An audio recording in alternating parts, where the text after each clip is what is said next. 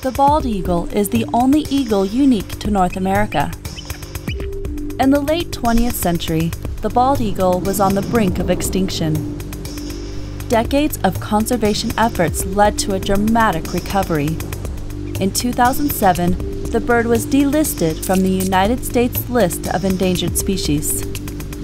This majestic bird is still protected and can be found throughout most of North America. The northwest coast is a primary breeding ground. These eagles live in Alaska, where about half the world's 70,000 bald eagles reside. Juvenile bald eagles have mostly dark heads and tails. As they mature, their bodies become mottled with white. Adult bald eagles have a distinctive white head with dark brown bodies and wings. It takes the birds about five years to gain their adult plumage. In the wild, bald eagles can live approximately 15 to 30 years. Birds have been known to live up to 40 years under ideal conditions.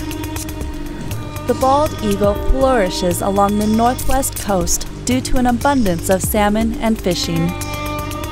While eagles can catch fish that are alive, dead or dying fish are also an important food source.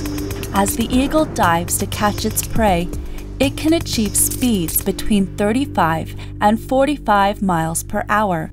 With a wingspan between 5.5 and 8 feet, the eagle is an impressive sight to witness.